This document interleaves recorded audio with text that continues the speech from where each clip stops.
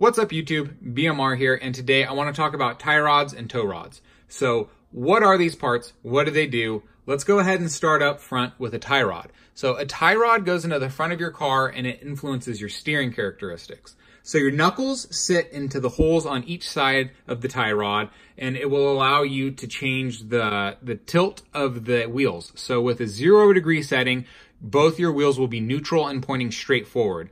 But if you have a positive setting, your wheels will start to point inwards. You want a positive setting if you're running a racing mini Z. It'll basically give you a little bit more understeer, so it'll make the car a little bit less twitchy.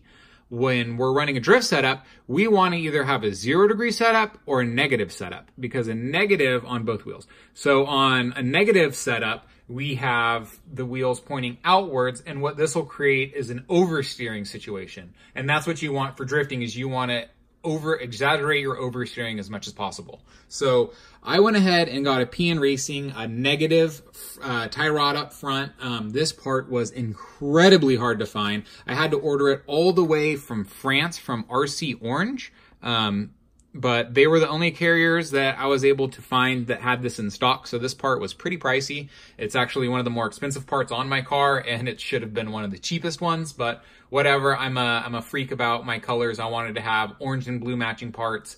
So this was my only option.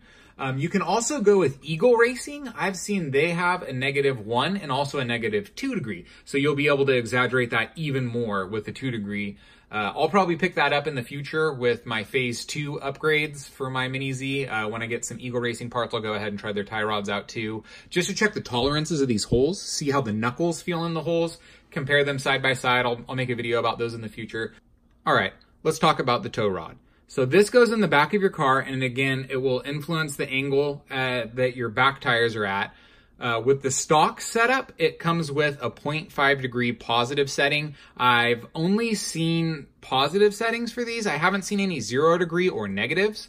Um, so anyways, I went ahead and got a 0.5 degree because the tighter you pull it in, I guess the higher degree you go in, it'll pull your wheels in more and that'll make your car a lot more squirrely. So that's why I went with a 0.5 is because it will have the closest thing to a neutral setting for me and that'll allow me to hold my slides the easiest and allow me to exit the corners the easiest. Um, maybe in the future I'll play with my toe rods, but for now I'm just to play it safe, go with as close to neutral as I can. So that's about it for tie rods and toe rods.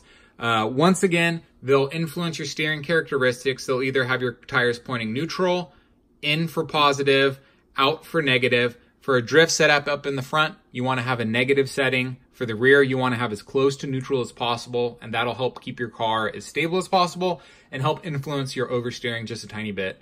Um, again, you can shop around with different companies. Uh, you can go down, I've seen as low as a negative two degree bar up front. So I'll probably end up picking up one of those in the future. So anyways, just play around with the parts, guys. Find a setup that works best for you.